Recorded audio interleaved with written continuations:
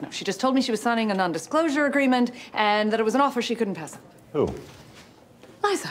Liza quit? Yes, and it's all my fault. I blame both of us for stoking her ambition. Jackie Dunn, line two! Don't scream! That's what your little legs are for! I'm gonna make some calls, find out where she took a job. I checked every publishing house in town. I can't find her anywhere. Oh. I thought for certain she'd be scooped up by those mouth breathers at Little Brown. If she's still in publishing, it's not in New York. I can check Scribner. My Aunt Judy used to work in HR there. She still has her Rolodex. Will you just be quiet? I know where she's working.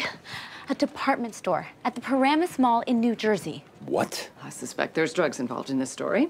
No, this is my fault. I'm the reason she left, and I can't get her to talk to me. Vanna? Don't look at me. I'm not going to New Jersey.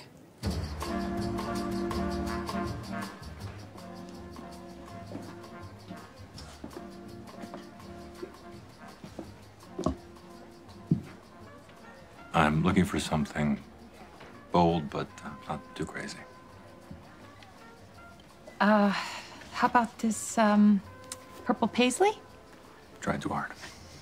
Can't be scared of fashion. What are you doing here? You wouldn't understand. I think I do.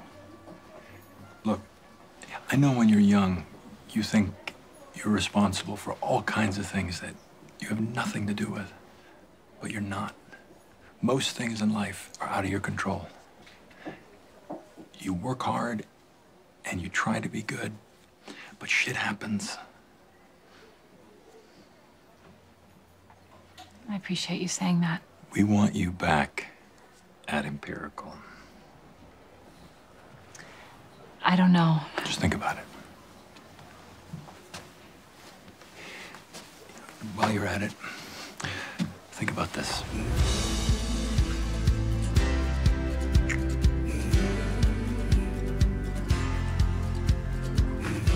I will definitely give that a lot of thought.